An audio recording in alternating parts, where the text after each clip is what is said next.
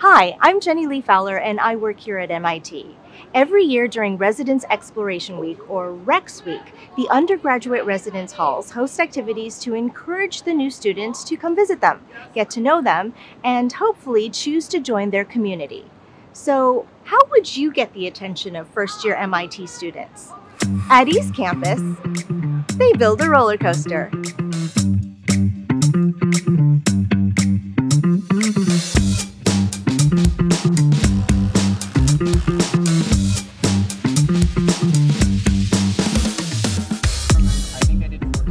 This project really emphasizes East Campus's love for engineering and building. I don't think anywhere else has something like this large and impactful that is purely run by students. Things still need to be checked with proper structural engineers in the city of Cambridge, but all of our finances are done by students, all the design are done by students, and I think that's really special.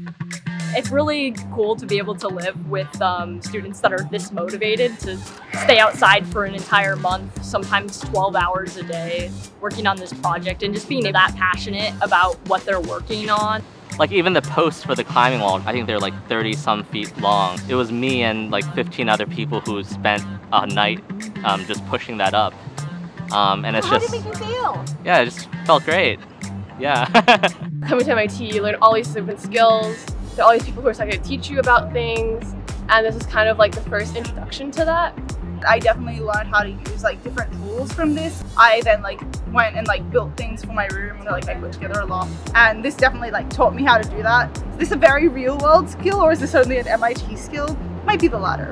I'm someone who's more like used to digital, making things digitally. I'm more of a digital creator than I am like a physical builder, but I'd like to mix both of them. So for me, it's more of an opportunity to like get to interact with people that are that I live around while also being able to make something that's kind of fun. This is the reason why we're putting this up is to show off to all the freshmen who are coming in the first week of the fall. They'll get a chance to actually help with the structure and ride the rides that we're building um, and really sort of immerse themselves in this kind of love for engineering that is essential to the dorm. Okay, so Rex Week is winding down. Almost done. Almost, almost done, and there is just one thing left for us to do. Okay. We're going down in three, two, one, go.